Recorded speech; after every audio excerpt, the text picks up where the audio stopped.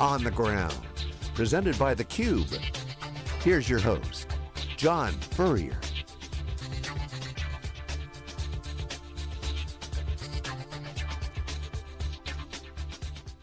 Hello everyone, welcome to theCUBE on the Ground. I'm John Furrier, the host of theCUBE. We are here at the IBM Open uh, Architecture Computing Summit here in Seattle, the day after DockerCon. I'm here with Stormy Peters, Vice President of Developer Relations at Cloud Foundry. Nice to see you again. Good to see you, John. So Cloud Foundry, obviously all the rage um, with part of IBM, this is their event, but Cloud Foundry has a lot of different partners, but it's been really interesting. Bluemix, uh, based on Cloud Foundry, has been growing like crazy and their community's going nuts over it.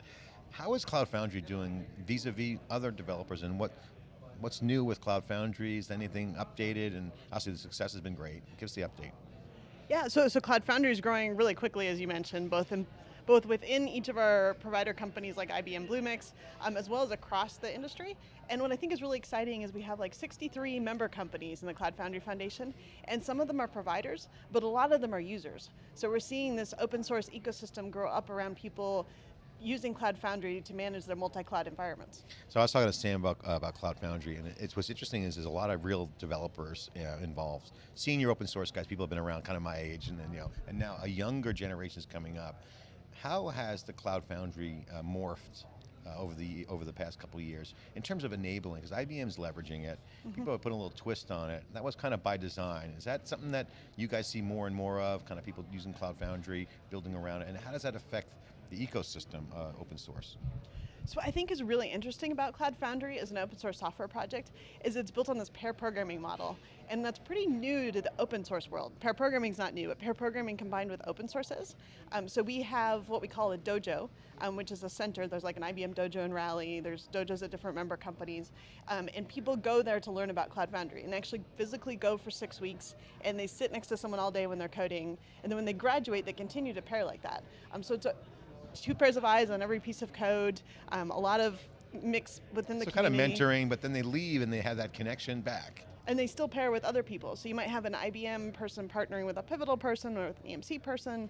Um, it's a terrific model that really changes how open source software is written. And what's the biggest thing that surprised you with Cloud Foundry? If you look back and say, okay, where it is today, what's the big thing that has surprised you? I really like that all the user companies are joining. Like it's really awesome to have a community that users are so excited about it, they're joining. And we're working with other foundations like OpenStack and others to make sure that there's standards and, and interoperability between the different cloud environments. So it's a truly multi-cloud solution. So what are you working on these days? What's your, what's your key tasks that you're, you're taking on?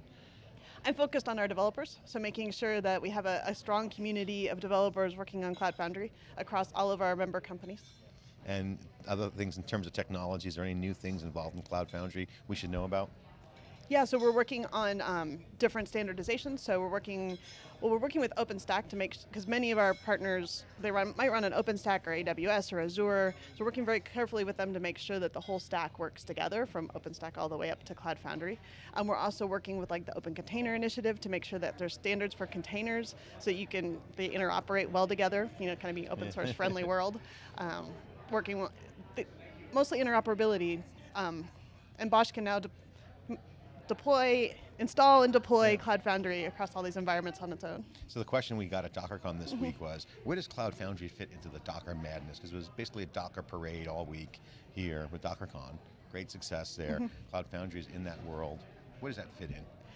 Well, I kind of see users move um, so it used to be that you added more hardware when you wanted more computing power, and then you started adding more virtual environments, virtual machines when you wanted more computing power.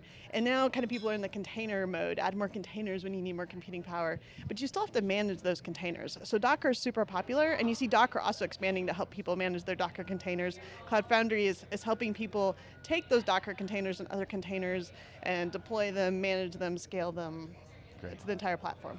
And for the folks that didn't make DockerCon, what's your big takeaway from DockerCon this year? I, I think that there's so many, so we did a container report recently with Cloud Foundry, um, and we found half, half of all the people we surveyed, they weren't Cloud Foundry users, they were general IT, half of them were considering using containers, um, but only a quarter of them had managed to deploy them in, in production yet. So people are very enthusiastic about it, but they're still looking for an entire solution like Cloud Foundry to manage it. And fi final question, what's going to be the roadmap for Cloud Foundry the next year? What's the key things that you guys are working on with developers? So with developers, we're actually working on certification. So there's this huge need for companies to hire knowledgeable Cloud Foundry um, developers, and so we're working on a certification process and training. All of our training so far has been sold out, so there's obviously a huge demand for it. Need more training. Yeah. Stormy, thanks so much for stopping by on the ground here. Appreciate it. Stormy Peters, VP of uh, Developer Relations at uh, Cloud Foundry. You're watching On the Ground. I'm John Furrier. Thanks for watching.